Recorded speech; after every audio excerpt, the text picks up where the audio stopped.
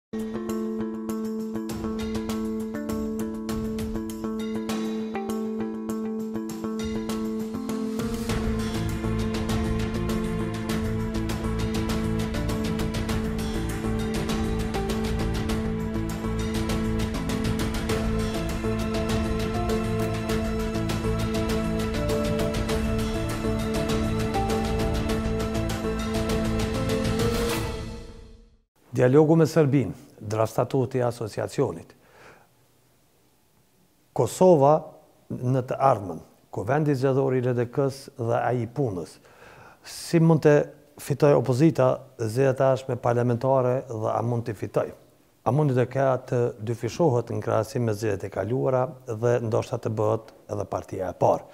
Për këtë çështje kam ardhur në LDK për të biseduar me njërin nga figurat kryesore të Lidhjes Demokratike të Kosovës. Është fjala për deputetin aktual dhe nënkryetarin e Kuvendit të Kosovës, Kujtim Shalën. Shala ka një kohë që nuk ka qenë prezent në mediat e Kosovës dhe unë kam kënaqësinë që ta sjell para jush me analizat e tij këtë javë në Blic Intervju. Ju ftoj të na ndiqni.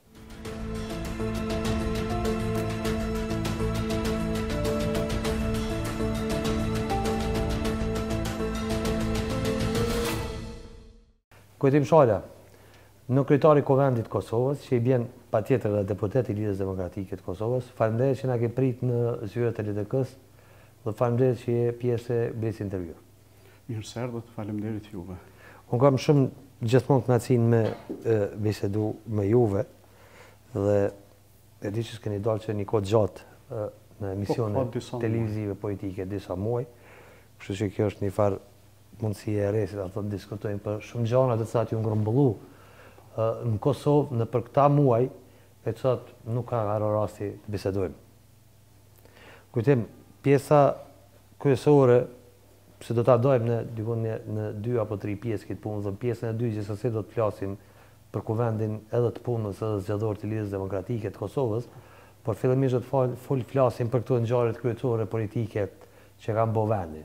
Theksi edhe në këta në këtë vit ka qenë aty ku kryeministri ka thonë se s'do ta ketë theksin. Prioriteti i shtatë që ka qenë dialogu, ka qenë prioriteti i parë i kësaj qeverie, ose është imponu si prioriteti i parë i kësaj qeverie, e besa edhe neve që jemi në media e partive politike opozitare në në në këtë vit. Si e keni pa kryeministrin Kurti në dialog, fjalë jashtëzakonisht të mëdha sa ka qenë në opozitë, do ta rrotulloj komplet dialogun, do t'i hijë marrëveshjeve nga zero dhe nga fillimi, nuk do t'i bëjë asnjë nga marrëveshjet e dëmshme që kanë qenë përpara, do të kërkojë, do të paraqesë kushte para se të hyjë në dialog me Serbinë. Si e shihni, ta themi kështu, dy vite pas dialogut dhe tre vite gati pas themelimit të kësaj qeverie, Kurtin në pushtet në krahasim me atë që ka qenë në opozitë, sa i përket dialogut. Tani në Çështjet e diplomacisë dhe të politikës së jashtme dhe vendet e mëdha dhe shumë të fuqishme nuk vendosin prioritete absolute. Pra mendoj që qeveritë duhet të përqendrohen te politikat e brendshme, ndërkaq që çështjet e politikës së jashtme, raportet me të tjerët lidhen dhe me të tjerët dhe përcaktohen dhe nga të tjerët. Unë mendoj që Kryeministri Kurti ka patur keqkuptime bazike lidhur me këto çështje e natyrisht dhe me procesin e dialogut. Mendoj që për një gjë ka patur të drejtë, pra në ato që ka thanë që do të ndryshojë dialogun, unë mendoj që dialogu ka ndryshuar, jo në kuptimin formal, pra jo në ecurinë e tij formale, por në kuptimin e asaj se çfarë ka dhënë. Në këtë proces, kryeministri i Kosovës dhe partnerët dhe ndërmjetësit, bashkë me përfaqësuesit e Serbisë, janë marrë dhe me marrëveshjet të cilat ne kemi arritur gjatë kësaj dekade, pak më shumë në procesin e dialogut të Brukselit, janë ridefinuar në disa pika, po në thelb është ridefinuar dialogu. Çka do të thotë kjo? Pra po e përsëris se është ndjekur rendi formal, edhe rendi formal i përfaqësimit, por ne nga viti i kaluar kemi marrëveshjen e Brukselit dhe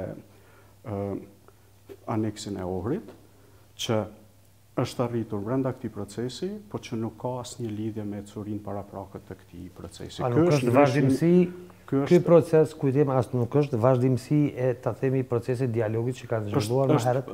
Po, po e përsëris, është vetëm vazhdimësi formale. Pra, është i njëjti proces i ridefinuar, me synime tepër të paqarta të institucioneve të Republikës së Kosovës, me rezultate njëherit të paqarta dhe jo transparente, që tani dita ditës po qartësohen. Çka do të thotë ridefinim? Marrëveshja e Brukselit ka dy nene thelbësore përpos preambulës, nenin gjashtë dhe nenin shtatë. Neni gjashtë përcakton detyrimet dhe përtej datës së Marrëveshjes së Brukselit dhe neni shtatë përcakton dy detyrime absolute të asaj marrëveshje, gjë që e përsërit dhe Aneksi i Ohrit. Ajo është çështja e themelimit të Asociacionit të Komunave me Shumicë Serbe dhe statusi i Kishës Ortodokse serbe. Ndërkaq, Neni Dhjetë u drejtohet, u referohet marrëveshjeve paraprake si të veçanta. Pra, ky është ridefinimi.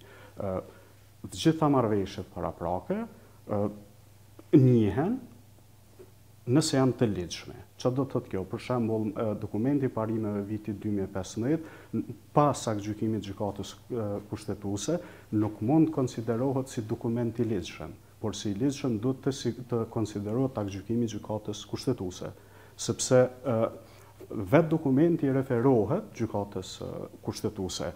Pra, pra ju konsideroni që që marrëveshja e parimeve është me me vlerë juridike zero? Ajo nuk ka patur vlerë as para se të trajtonte Gjykata Kushtetuese, sepse dokumenti i parimeve i vitit dy mijë e pesëmbëdhjetë nuk është një marrëveshje ndërkombëtare. Ajo është konsideruar një marrëveshje, një tekst, një marrëveshje, një dokument i ndërmjetëm, po që do të shërbente ekipit që do të hartonte statutin e Asociacionit Komunave me Shumicë Serbe.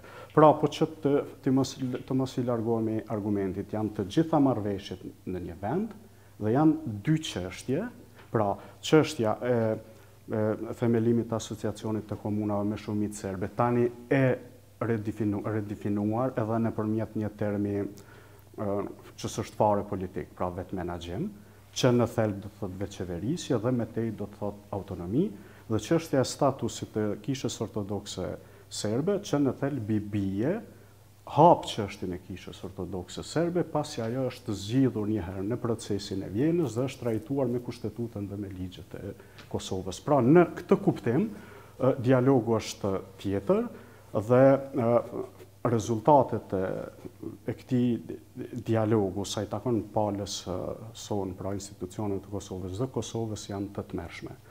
Janë të më të dëmshmet që do të mund të të dilnin nga një proces i tillë dhe për fat të keq, Pse janë të tmerrshme dhe pse janë të dëmshme?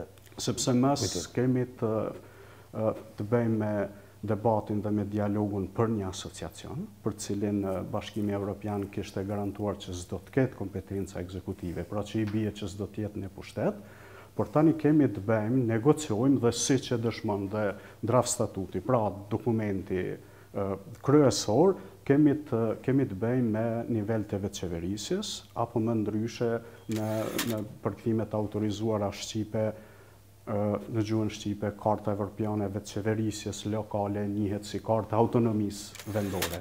Pra, është ndryshim thelbësor. S'kemi të bëjmë me një organizim mbi bazën e asociimit vullnetar, po me një pushtet të vërtetë, të cilin e e projekton neni shtatë i i Marrëveshjes së Brukselit dhe aneksi i Ohrit. Pra, ky nuk ka qenë dialogu. Dialogu nuk ka qenë i përqendruar te themelimi një pushteti të serbëve në Kosovë, pra një pushteti të veçantë, as një një pushteti të Serbisë në Kosovë, çfarë e ka projektuar dhe e ka strukturuar përfundimisht draft-statuti i Asociacionit, të cilin e kanë dorëzuar emisarët dhe të cilin kryeministri dhe Qeveria e Kosovës e ka pranuar. Po kush do ku i gjen këto, si me thënë aty ka shtesa natyrisht, po draft statuti i Asociacionit, ai që e kemi pa, pra që e ka prezantu Burim Ramadani dhe që duket të jetë krejtësisht autentik, ndonëse askush s'po e pranon, në fakt i përmban të gjitha pikët e Marrëveshjes dy mijë e trembëdhjetë-ës. Jo, sepse kemi të bëjë me një dokument me dyzet e pesë nene. dhe me një preambulë Preambula është diçka që s'po diskutojmë, po. Marrëveshja e Brukselit ka 15 nene, çështjen e asociacionit e adresojnë vetëm 6 nenet e para. 6 nenet, po të po. gjitha janë të futura në këtë draft statut. Jo. Ato të gjitha po. Ajo është një skicë bazike, materi apo substancë kanë vetëm dy nene aty dhe ato nene janë problematike. Por keni parasysh që në aq pak rregullim thuhet se asociacioni do të mbikëqyrë. Te dokumenti i parimeve ai është kthyer në një term tjetër, siç e konstatonte edhe Gjykata Kushtetuese që ishte dykuptimsh, pra që do të ketë një pamje, do të ketë një pamje të përgjithshme etj. Te draft statuti ne shohim që përcaktohet. Pra ka të bëjë me rregullim, me koordinim, rregullimi është pushtet dhe është pushtet ekzekutiv. Pastaj marrëveshja e parimeve e vitit 2013 ka ka pas skicuar edhe strukturën e Asociacionit, pra duke përcaktuar që ajo do të jetë si e Asociacionit të Komunave që ne kemi. Por nuk është thelbi ky. Pra thelbi është që marrëveshja e vitit 2013 s'ka materi, s'ka substancë, apo s'ka substancë të mjaftueshme që të kthehet në një dokument të kësaj natyre. Dhe ky është një... Pse? Pse s'ka substancë mjaftueshme? Sepse s'ka. Domethënë si trajton. Janë janë përcaktime përgjithësuese, janë dy nene më specifike dhe unë mendoj që janë problematike, për njërin ne folëm deri më tani, por mbikëqyrjes karakterin e një pushteti ja jep vetëm ky dokument. Dhe në këtë kuptim Dhe kjo është njëra pjesë problematike. Po. Pra që jepen kompetenca realisht qeverisëse, edhe mbikëqyrja Mbikëqyrja në këtë rast është qeverisje. Tani problemi është ky, në këtë kuptim ka një lidhje formale dhe ligjore dhe të detyrueshme me marrëveshjen e vitit dy mijë e trembëdhjetë, por lidhja e vërtetë është me marrëveshjen e Brukselit, sepse me marrëveshjen e Brukselit Republika e Kosovës dhe Republika e Serbisë kanë trajtuar çështje kushtetuese, pra çështje të cilat nuk i ka Kushtetuta jonë. Dhe këto i dëshmon dhe draft statuti. Pra, kryeministri i Kosovës dhe presidenti i Serbisë janë marrë vesh për çështje që s'kanë të bëjnë fare me rregullimin kushtetues, me rendin kushtetues të Kosovës.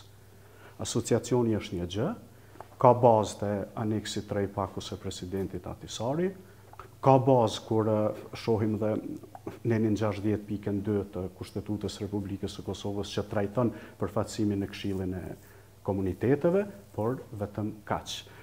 Me këtë, unë mendoj që Kosova është kthyer në fazën para para propozimit final të të Pakos së Ahtisarit, pra para draftit final, sepse këto çështje janë biseduar dikur, dhe shumë përtej procesit të dialogut të Brukselit. Pra ju po thoni që Kosova është kthy në fazën para pavarësisë?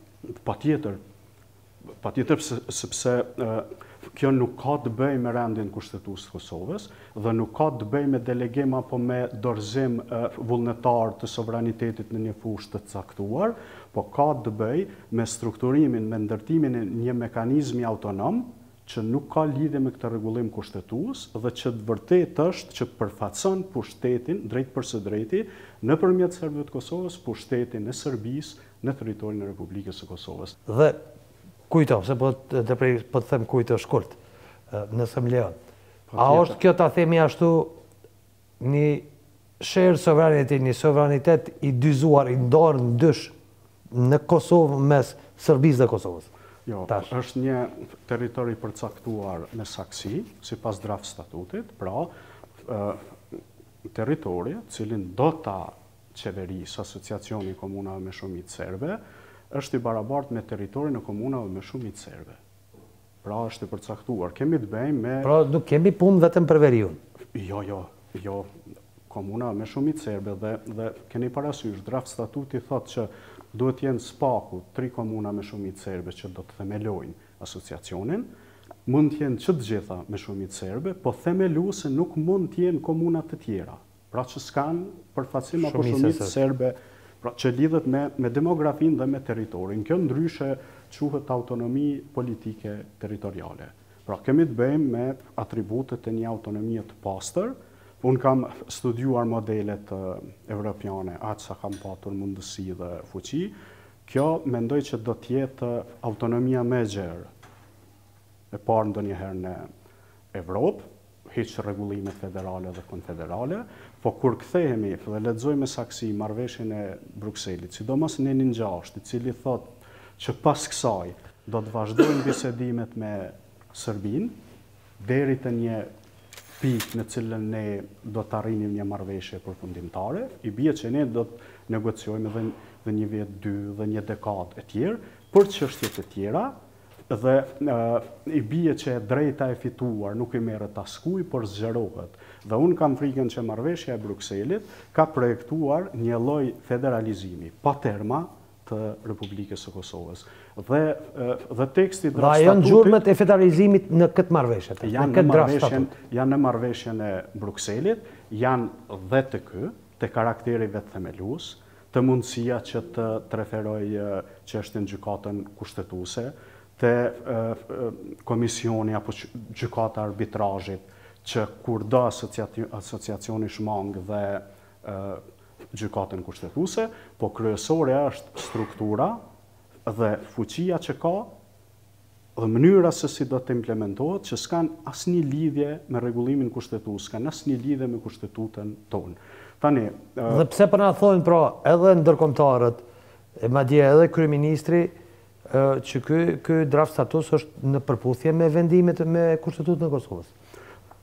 Këto mund të jenë bindje të vërteta apo qëndrime politike, Sepse bindjet e tua janë krejt tjera. Bë, dhe nuk janë vetëm tua, nuk e ke vetëm ti. Po, bëhen edhe që të mbrohet autorësia, sepse ai dokument ka autorësi, autorësia është evropiano-amerikane, apo më saktësisht amerikano-evropiane. Dhe a dihet autorësia, Kujtim? Po patjetër sepse autorësinë e kanë emisarët që e sollën. Domethënë nuk është nuk është i rëndësishëm personi me emër dhe me mbiemër. Prapa atij dokumenti janë në radhë të parë Shtetet e Bashkuara të Amerikës dhe Bashkimi Evropian. Pra po thoni në radhë të parë Shtetet e Bashkuara të Amerikës? Po unë kam këtë bindje që janë Shtetet e Bashkuara të Amerikës, sepse po po e mbrojnë si autorësi. Pra, edhe emisari amerikan zoti Escobar, edhe ambasadori amerikan në Prishtinë dhe administrata amerikane. Bindja apo informata, kujti? është leximi imi, ashtu siç po e lexoj dhe po. tekstin. Po, është leximi imi, po në, në këtë lexim, unë nuk kam asnjë dilemë që kjo është një strukturë politike territoriale autonome. që nuk ka të bëjë me një pushtet të tretë, po që ka të bëjë me një pushtet të ri dhe që s'është pushtet i Republikës së Kosovës. Pra ky është problemi themelor. Dhe kujto, pjesë, më thatë që janë dy vërejtje të mëdha.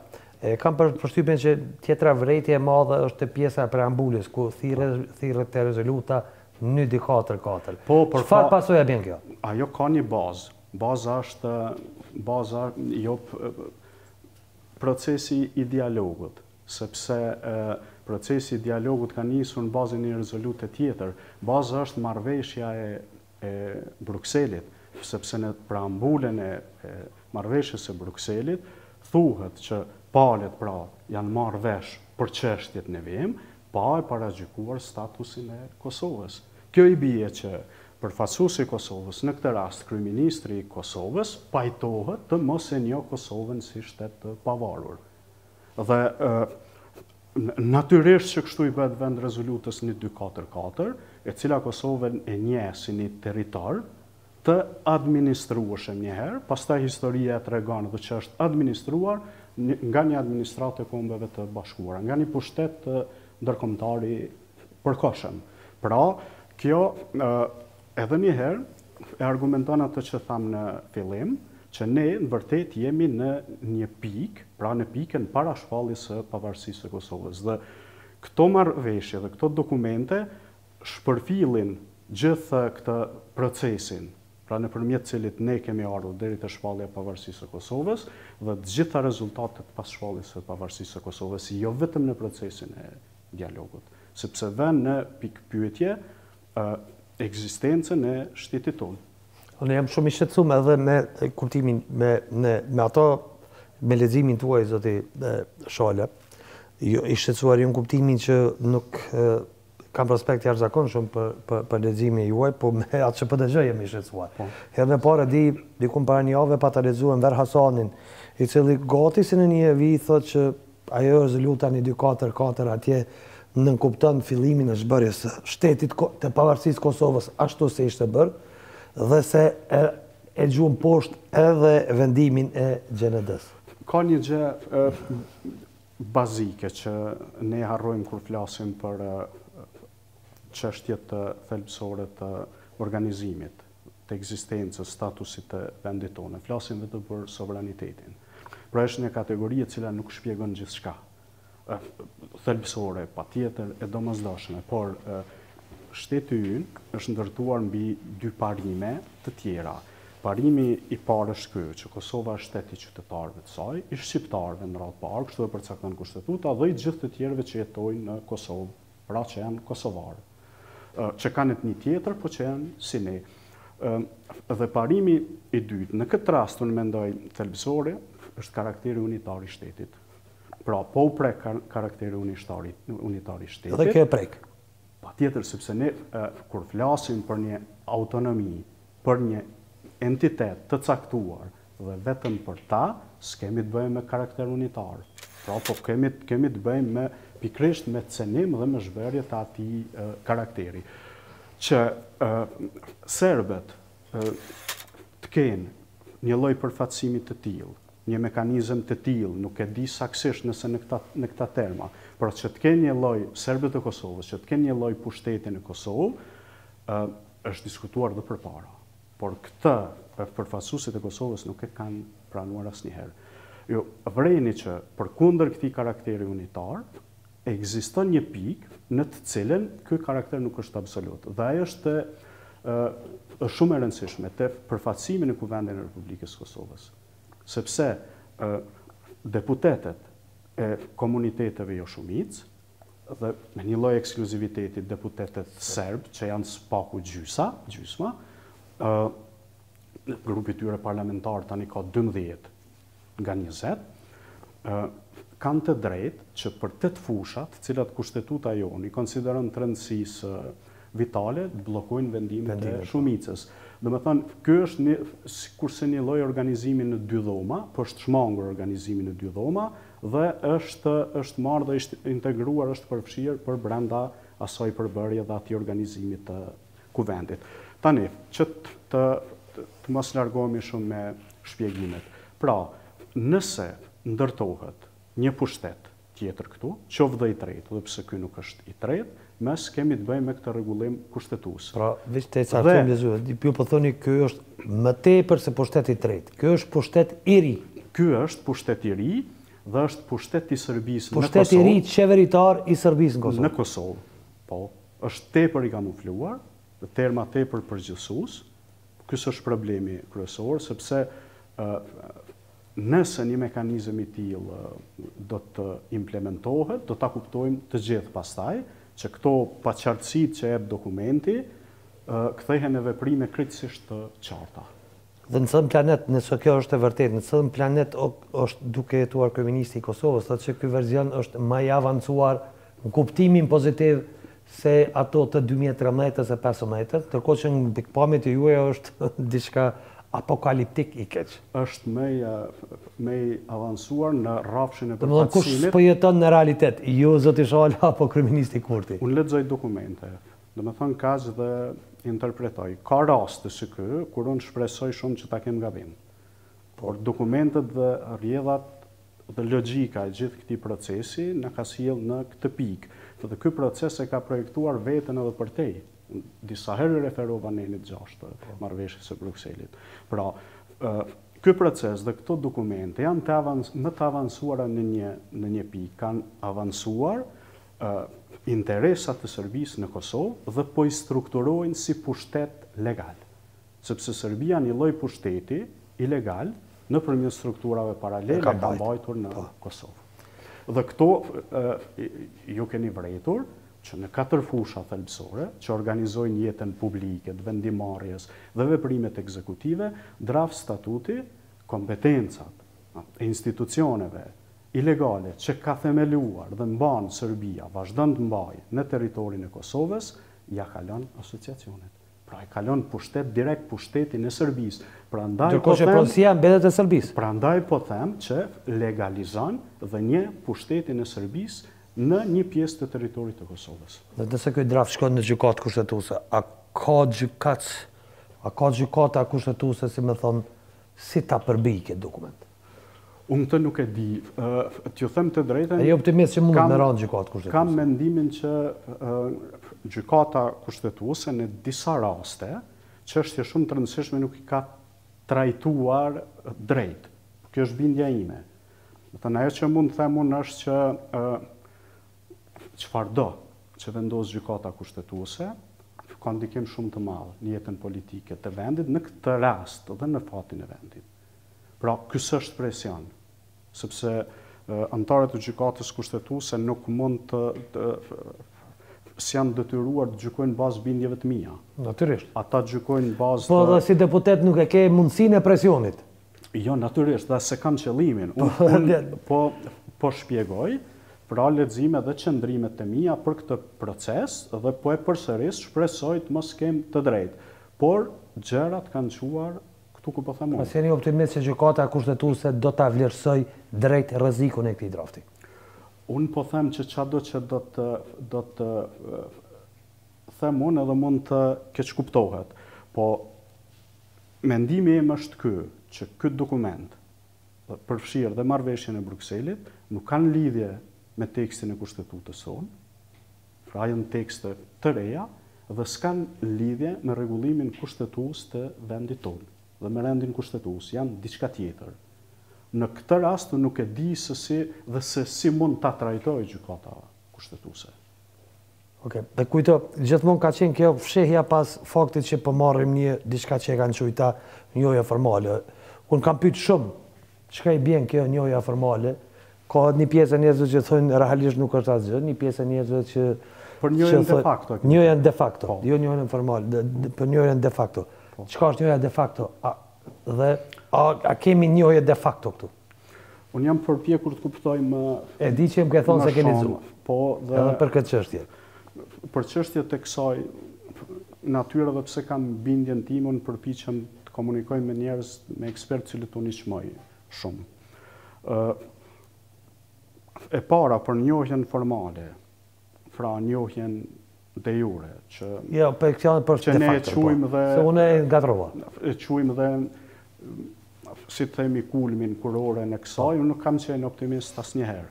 Madje kam thënë që ë nuk shoh gjasa që brezi ynë ta zgjidhë këtë gjë.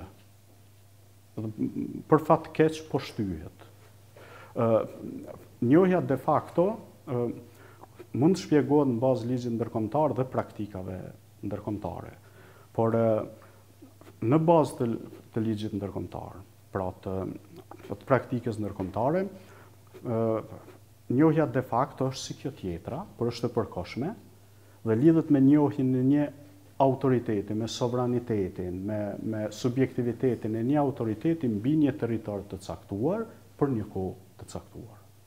Pra, kjo deklarohet, thuhet me qartësi dhe nuk kontestohet. Serbia, ekspertët thonë që dhe bëhet me shkrim. Serbia le që s'e bën me shkrim, le që s'hesht, po thotë jo, s'e njoh, pra deklaron që jo. Dhe, Kujto, domethënë na s'kemi as njohje de facto. Jo, se çfarë është njohja de facto në këtë rast, duhet ta tregojë praktika e zbatimit të marrëveshjes së Brukselit, sepse lidhet me të. Tani, von der Leyen dhe zoti Escobar dhanë disa shenja, disa korniza. Çfarë do të thotë ajo që Njihen dokumente, pra si ID, letërnjoftime, pashaporta, simbole dhe gjëra të tilla, tha zoti Escobar. Pra në këtë rast, njohja de facto do të duhej të nënkuptonte këto gjëra, por kjo nuk është njohja de facto që njeh ligji ndërkombëtar. Sa ta përpis, në kuptim, në kontekstin e ligjit ndërkombëtar, ne s'kemi as njohje de facto. Me sa kam arritur të shoh unë, jo, nuk ka asnjë lidhje. Pra, nuk kemi marrë as njohjen de facto në atë kontekstin qysh e sheh ligji ndërkombëtar. Astrit, as njohja de facto dhe as de jure, as njohja formale nuk të duhet nëse ndërton pushtetin e Serbisë në Kosovë. E kam qartë. E kam qartë, po. Sepse, t'ju rikujtoj, Serbia e njeh Bosnjën dhe Hercegovinën, por raportet janë të tmerrshme dhe punon çdo ditë kundër sovranitetit, integritetit të Bosnjës, punon për zhbërjen e Bosnjës. Dhe qëllimeve dhe politikave të Serbisë u shërben shumë mekanizmi i serbëve të Bosnjës në territorin e Bosnjës, statusi politik i tyre. Dhe, domethënë, ky draftstatus me meqenë draftstatut meqenëse dhe të cilin kryeministri tha se e ka pranu, meqenëse u përmend Republika Bosna dhe Republika Serbe. Ky e bën sot Republikën Serbe apo e lën mundësinë tanë mund m'u bo. Ky strukturon një autonomi politike territoriale, ndërkaq marrëveshja e Brukselit në, sipas interpretimit tim, skicon një lloj rregullimi federal. Pra, Unë kam frikën që një autonomi politike territoriale e sotme nuk do të ishte fundi i këtij procesi, për fat keq. Por do të përfundonte me një federalizim. Me një lloj rregullimi federal.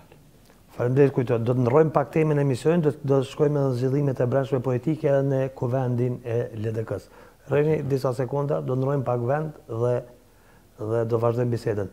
Për juve shikues nuk ndrron kurgjo, ju rrini, se vazhdojmë menjëherë.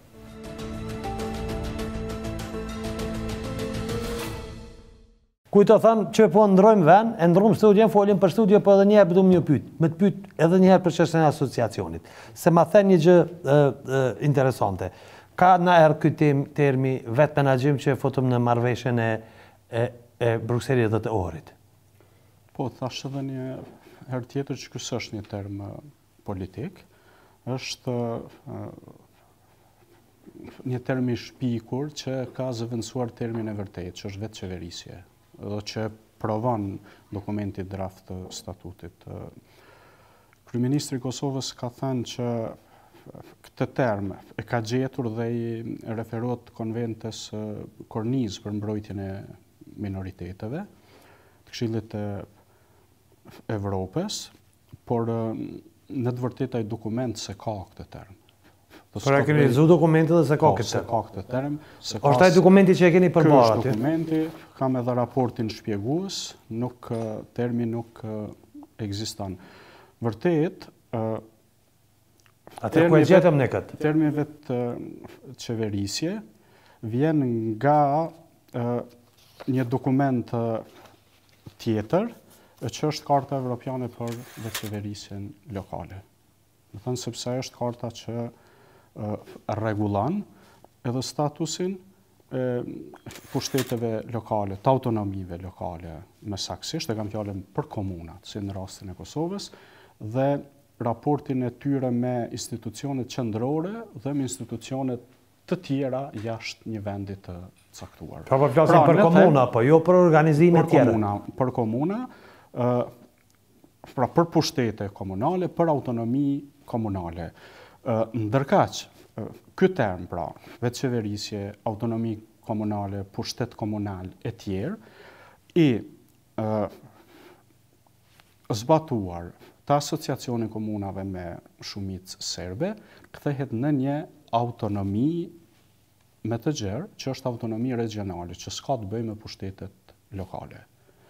Pra, ky është termi që kamuflon termin e vërtetë, termin e parë, edhe më tutje, Termin vetëqeverisje, pra në këtë lloj shpjegimi, ose vetëmenaxhim, mund ta zëvendësojmë me termin asociacion, sidomos kur kemi parasysh dokumentin e fundit, i cili saktëson, përfshin dhe strukturon dhe organizimin e asociacionit dhe nivelet e pushtetit, përfshirë organizimin ekzekutiv, që n'atë dokument përfaqëson bordi, dhe administratën, dhe gjithçka tjetër.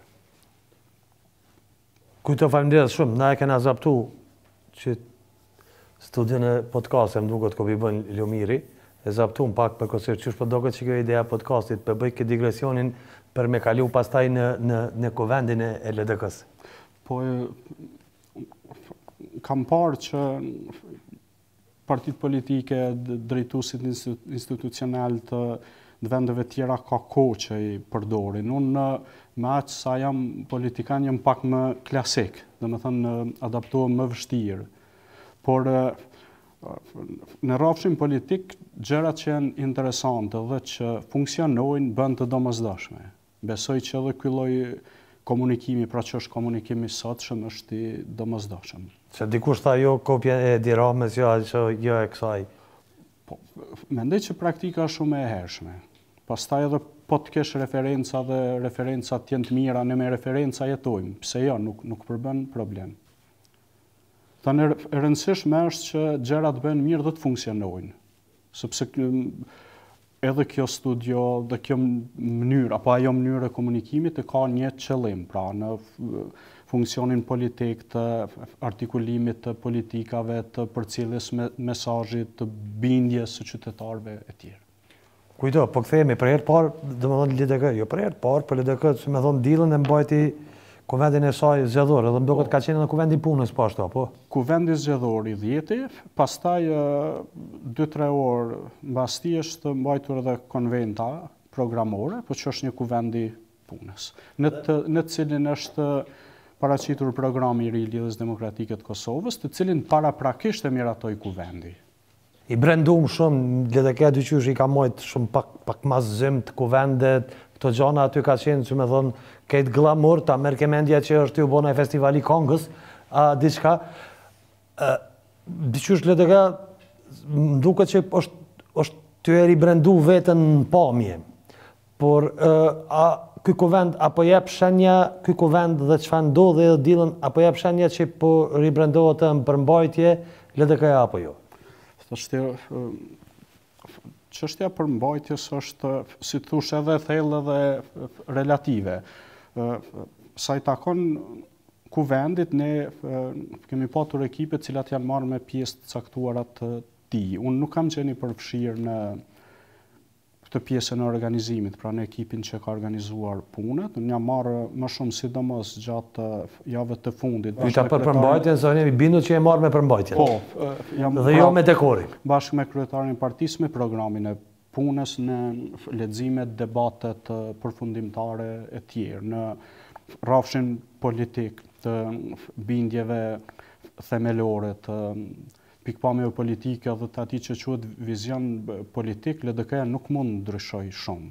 Pra ka ka pësuar një ndryshim të madh kur nga një lëvizje politike nacionale është bërë në njërën nga partitë politike të Kosovës, unë mendoj gjithmonë më e rëndësishmja, pavarësisht rezultatit të zgjedhor, por ne tani kemi një drejtues të ri të partisë, i cili ka disa pikëpamje që janë të tij, që duhet të testohen dhe LDK-ja i jep rast që t'i që t'i testojë, që t'i provojë. Kjo nuk ka të bëjë me, me pamjen me kuvendin, me dekorin, ka të bëjë saksisht me programin. Në fakt, unë e komplimentova për pjesën e po, po. pamjes dhe organizimit dhe faktit që po shkon drejt një modernizimi.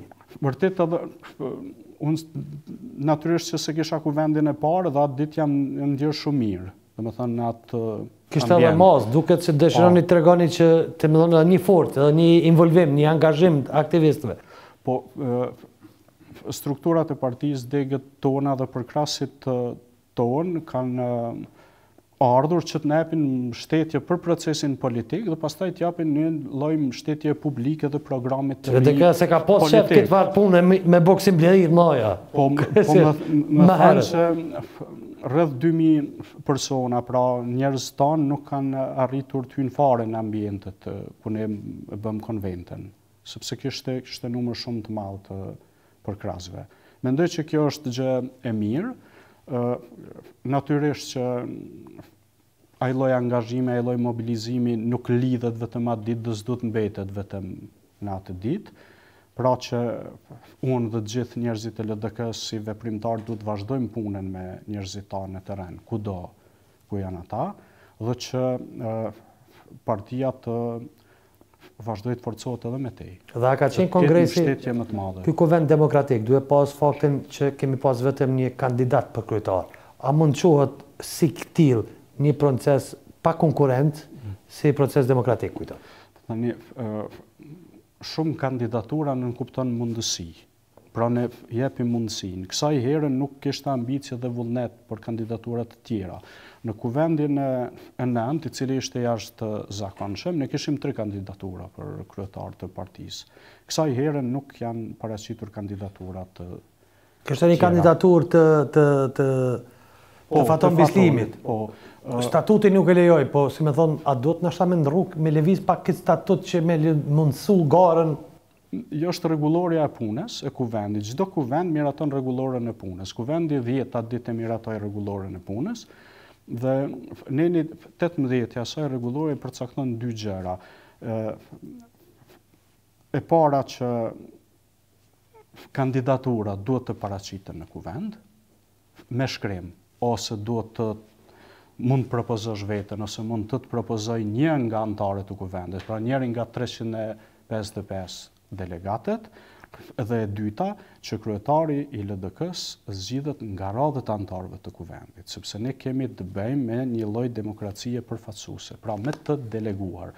Kryetari i LDK-së mund të jetë secili prej treqind e pesëdhjetë e pesë anëtarëve të Kuvendit. Por asnjë që nuk është anëtar i Kuvendit. Jo, sepse s'është deleguar. Pra, kryetari i LDK-së duhet të ketë mbështetje. Përpos kësaj, simbas statutit të Lidhjes Demokratike të Kosovës, kryetari i partisë njëkohësisht është kryetari i Kuvendit, i Këshillit të Përgjithshëm dhe i Kryesisë. Pra, nuk mund si mund të jesh kryetar i një Kuvendi anëtar i të cilit nuk je. Ky domethënë është problemi dhe Komisioni i Kandidaturave atë ditë konstatoi që pretendimi i zotit Bislimi nuk është në përputhshmëri me rregulloren e punës, me dokumentet tona. Në anën tjetër, Komisionit të Kandidaturave kandidaturat i bëhen me shkrim. Dhe zoti Bislimi nuk ka paraqitur kandidaturë me shkrim. Pra ka thënë gojarisht që jam jam kandidat, aty mund të shprehesh vetëm vullnet, sepse ne para se të hyjmë në proces që të zgjedhim kryetarin e partisë, miratojmë kandidaturat. Duhet shumica e Kuvendit të miratojë kandidaturën, pra s'mjafton vullneti. Dhe Fatoni ka dorëzuar dhe një dokument që ka qenë që përmban pikëpamjet e tij programore se si duhet të jetë LDK-ja.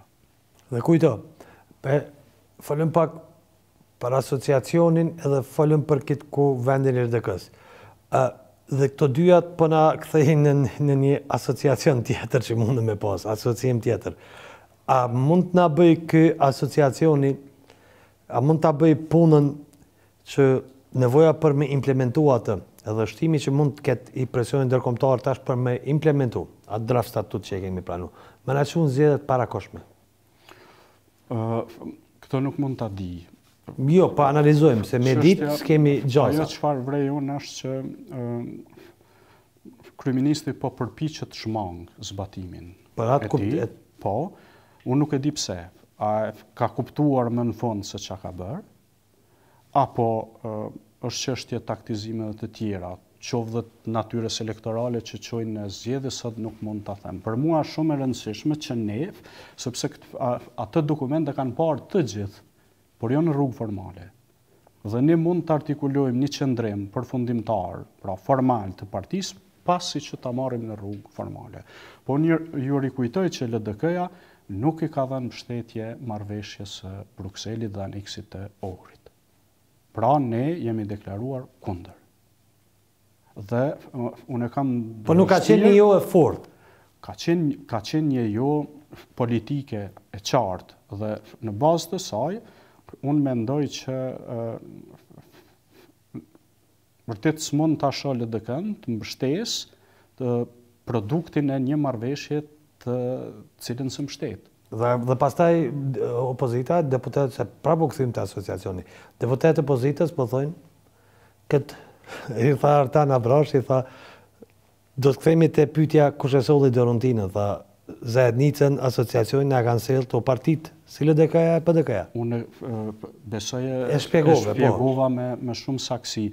Ë Asociacionet, edhe ky i komunave me shumicë serbe, kanë një bazë të aneksi tre i dokumentit gjithëpërfshirës të presidentit Ahtisari.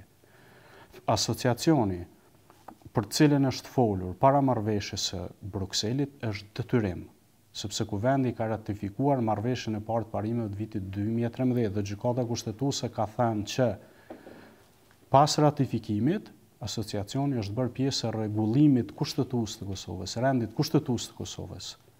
Çështja është që Marrëveshja e Brukselit e vitit të kaluar ka projektuar një mekanizëm tjetër që s'ka të bëjë as me dokumentin e Ahtisarit, as me Kushtetutën dhe as me rendin kushtetues. Këtë kështu si është e e ka sjellë i njëjti proces formal, por një lojtar tjetër, Dhe ky lojtar tjetër, pra kryeministri aktual i Kosovës, ka sjellë një përmbajtje tjetër që s'ka të bëjë me, në thelb s'ka të bëjë me procesin. Kujtim, diku në në mars të këtij viti ka dalë diçka nëpër media që e keni ofenduar kryeministrin, e e keni sharë dhe e e e keni quajtur tradhtar. Çka ka të vërtetë në këtë punë? Çështja është që në diskutimet të cilat nuk janë formale, ne mund të sillemi edhe papërshtatshëm. Domethënë, edhe unë, edhe ju, edhe, edhe kushdo. Natyrisht që përmbajtjet e papërshtatshme janë të papërshtatshme dhe njeriu nuk i pëlqen as për vete, as për të tjerë. A jeni pishman? Por, por situatat zhvillohen, gjërat zhvillohen në kontekste të caktuara. Ju mund të kapni elemente të tilla, detaje të tjera të rëndësishme, shumë më të rëndësishme, por shumë çka nga ato që ndodhin në sallën e kuvendit nuk i kapni. Unë sillem me korrektësi gjithmonë dhe nuk duroj kur tjetri nuk sillet me korrektësi. Po ky nuk është thelbi. Atë ditë në Kuvend kishte shumë tension. Dhe tensioni kishte të bënte me përmbajtjen e marrëveshjes. Përmbajtje të cilën unë e shpjegova sot gjerësisht. Pra, një njeri që në preambulë të një dokumenti ndërkombëtar thotë që s'e njeh, dhe është kryeministri i vendit dhe thotë që s'e njeh vendin e tij, unë nuk mund ta trajtoj në terma normalë as politik as njerëzorë. Po si? Ta quajmë tradhtar? Ky është ai është domethënë nuk nuk është çështja që ta kthejmë në etiketime, sepse unë mund të mund mund t'i them zoti kryeministër, por marrëveshja e Brukselit është ajo që është. Dhe së paku në interpretimin tim, ajo është marrëveshja e një kundërshtari të këtij shteti. Pra ju nuk jeni pishman për ato fjalë që kanë dalë, që, që i keni thënë? Jo, po unë po flas për për përmbajtjen. E kam, e kam qartë, e kam qartë, po. Thelbësore sepse në ë Po ta harrojmë edhe këtë, domethënë nëse nëse njeriu ve thotë një gjë të të papërshtatshme në situata ekstreme natyrisht që i vjen keq, nuk s'ka dyshim. Ë po në raste të tilla ra, raportet e mia private dhe sjellja joformale nuk nuk kanë asnjë vlerë. Pra vlerë ka ajo që të sjell aty. Dhe ajo ajo që na solli aty është kështu si po e shpjegoj unë. S'paku për mua. Po. Kujto, falënderit shumë. A është LDK-ja e gatshme me shku në zgjedhje? Para se po. me t'thonë mirupafshim, për po të bëjë, është e gatshme me shku në zgjedhje dhe a po shihni që mundeni me me, si me thonë, me sfidu seriozisht kryeministrin Kurti si, dhe Vetëvendosje. Si parim, partitë politike opozitare janë të gatshme, sepse kanë kanë parasysh disa situata, ndjekin disa situata, pastaj përpiqen vetë të organizohen, të strukturohen, punojnë më shumë dhe unë kam përvojë dhe si anëtar i qeverisë dhe si përfaqësues i opozitës dhe nuk është e njëjta gjë. Pra opozita ka mangësinë e madhe sepse s'ke pushtetin dhe pikëpamjet tua s'mund t'i realizosh, po ka favorin e madh sepse mund të merresh më shumë me punët e tua dhe partisë tënde. Po LDK-ja është është e gatshme, LDK-ja ka dhe programin qeverisës, pra në të gjitha kuptimet, është parti e organizuar shumë mirë, të them të vërtetën në kuptimin e organizimit strukturor, strukturës së saj, të organizimit politik dhe të funksionimit të saj, Nuk ka qenë keq as kur dolëm shumë keq në zgjedhjet e fundit nacionale, po kishte një lloj ikjeje të elektoratit të LDK-së, që në masë të madhe është kthyer, natyrisht që nuk mjafton. A është real mundësi, a është reale mundësia ta themi e dyfishimit të LDK-së, krahasim me rezultatet e zgjedhjeve? Po patjetër, patjetër. Që ishte diku në dymbëdhjetë për qind po më duket. Ka qenë afër trembëdhjetë për qind. Afër trembëdhjetë për qind. A është reale dyfishimi sot? shumë i dobët dhe i papritur, s'paku për mua, është reale, është e mundshme, të mos harrojmë ndër pra ndërmjet kësaj dite kur ne po flasim dhe datës së zgjedhjeve nacionale ne kishim zgjedhjet lokale dhe ne kemi fituar. Pra, Jo vetëm zgjedhjet të cilat i fitojnë kandidatët për kryetar komune për të cilët duhet edhe marrëveshje politike dhe votë shumë e madhe popullore, po dhe zgjedhjet për asambletë komunale, që janë pa që nënkuptojnë votë politike. Domethënë, në zgjedhjet lokale, LDK është ka dalë partia më e madhe. Që të fitojmë zgjedhjet me siguri, unë mendoj, pra është mendim personal, duhet të vazhdojmë të punojmë më shumë. dhe të rrisim përkrahjen. Dyfishimi është është gjë e mundshme dhe e provueshme, kur do që të shkojmë në zgjedhje, por dyfishimi i LDK-së nuk mjafton që ne të dalim parti e parë. Por na duhet më shumë se aq. Pra duhet të shkojmë përtej dyfishit. Patjetër. Mbi 26% mbi 25-6% Po, patjetër dhe ne Dhe shpresoj të kenë stabilitet dhe partitë eh, opozitare, eh, dhe nëse, nëse po, dhe kur kemi parasysh rritjen e LDK-s, dhe çfarë synojmë ne, dhe nëse arrim, atëherë eh, medoemos do që në Kosovë do të ndërtohen raporte tjera politike. Sepse përfaqësimi do të jetë tjetër. Dikush tjetër do të jetë shumica. A shihni në horizont, edhe këto të fundit, se shpresoj që kam kohë dhe nuk ma ndërprejnë transmetimin, a shihni në horizont, si me thënë zgjedhjet e ardhshme, potencial për një lidhje të re LDK-VV apo jo sot? Për këtë duhet një vendim politik. Jo, personalisht po të pyes. Duhet personalisht jo. Jo si qëndrim të partisë, personalisht po të pyes. Jo. Me këta drejtues, unë mendoj që nuk duhet. Asnjëherë. Domethënë e ka provuar marrëveshja e parë që kishim, qeveria që ndërtuam, për cilën kam qenë shumë skeptik. Unë kam përkrahur atëherë një listë të përbashkët me Lëvizjen Vetëvendosje dhe me kandidaten tonë për kryeministre si prijëse dhe kryeministre të ardhshme. Meqë ajo marrëveshje nuk u bë, unë kam qenë tepër skeptik që edhe po bëmë marrëveshje pas zgjedhjeve, që s'do të funksionojë. Dhe nuk funksionoi. Dhe nuk funksionoi. Pastaj mënyra se si u prish koalicioni, mënyra se si Kurti shkeli marrëveshjen me LDK-në duke shkarkuar në mënyrë arbitrare dhe kot ministrin e LDK-së nënkryetarin e partisë e dëshmoi prapë Atë gjë, pra që nuk funksionon. Ndërkaq, ndërmjet atyre situatave dhe ditës së sotme, janë dhe tani pothuajse tre vjet të tjera të qeverisjes, në të cilën qeveria e vendit është sjellë si një qeveri kundërshtare e vendit. Për një pjesë të dëmeve, ndoshta për fatkeqësi të pariparueshme, ne folëm gjatë kësaj bisede. Por shikoni edhe raportet sociale, shikoni raportet që ka qeveria me sindikatat, shikoni raportet që ka qeveria me komunat, shikoni raportet që ka qeveria me administratën e saj dhe kuptoni që s'funksionon asgjë. Dhe kjo është shumë ishte pra- interesant, ju përshkruani qeverinë siç është sjellë si kundërshtare e vendit, ndërkohë që qeveria... E shtetit. Si kundërshtare e shtetit, ndërkohë që qeveria, ose ta themi kështu, përkrahës e zëdhënës, zëdhënës jo formal të qeverisë, partisë në pushtet, kanë shku deri atje saqë, si me thonë, e kanë qujtë opozitën bashkëpunëtor të, të, të Vuçiqit. Edhe kryeministri tha ju do ju për nënshkrim, por kryeministri i Kosovës është ai i cili po vrapon pas presidentit Serbisë si fans, më jep firmën, apo jo? Kosova me Serbinë nuk kanë nënshkruar asnjëherë marrëveshje. Kjo është e vërteta. Asnjëherë. Sepse Serbia s'nënshkruan marrëveshje me Kosovën.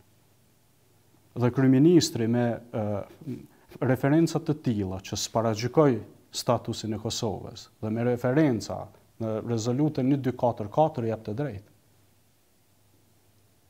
Mos e bëj. Tani sa për zëdhënësit, zëdhënës publikë të paguar, që në terma normal janë shërbëtorë, s'kanë asnjë vlerë. Kjo opozitë është themeluesja e shtetit. Kryeministri dhe organizata e tij politike kanë qenë kundër. Pra, si koncept politik, kundër pavarësimit të Kosovës, kundër Procesit të Vjenës, e kanë kundërshtuar, kanë tentuar të pengojnë shpalljen e pavarësisë, me veprime konkrete. Dhe tani, gjitha këto probleme burojnë nga ky fakt bazik. Kryeministri i Kosovës është kundërshtari kryesor i shtetit të Kosovës dhe i historisë politike të saj. S'ka të bëjë kjo me raportin me opozitën. Sepse në këtë rrafsh, opozita kjo që është, është themeluese e shtetit. Apo jo?